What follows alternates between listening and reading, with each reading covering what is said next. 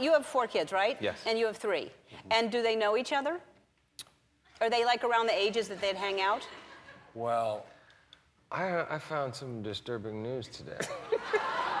About his kids? That, that, well, about his oldest boy, who I thought was a lovely lad until I realized that he is in some sort of form of communication with my oldest child. In what form? What, in what form? they're following each other on Instagram. But what I don't understand is how come my daughter's on Instagram when I've had her phone for 45 days? Oh, she was she was on there. I saw the on pho- uh, yeah, I saw the You picture. saw what? No, I just saw a picture of her, like You know what? In actuality, as I thought about it, I have come to, to, to understand that in, it's inevitable that she will be with somebody. Right. And so if it could be somebody like Will, I would be happy. Wow. I know that she's in good hands. That's his name, Will, your son? No, Magnus. Magnus. Because you And if you, you think said, I sweat, oh No. my God. Magnus sweats. Oh, no, but you, Well, Already if he's at coming over to my house, we're gonna wrap him in saran wrap.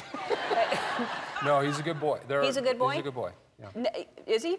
I mean, well, he, other than the fact that he likes to purchase knives on the internet, he's a good boy. He, he bought. You gotta come to my house with more than a knife, knives, some, some pocket knives. Yeah. But they, they, were, weren't pocket they knives. They were hunting knives. Yeah. we So he just ordered them on Amazon. just ordered on Amazon. Do you know that? Yeah. I just found that out. Yeah. So keep your cutlery lock- locked up Yeah. if he comes over. Yeah. Maybe you out. don't want her hanging out with Magnus. I mean, other than that, he seems like a sweet boy, though. Other than that, he's yeah. a very sweet yeah. guy.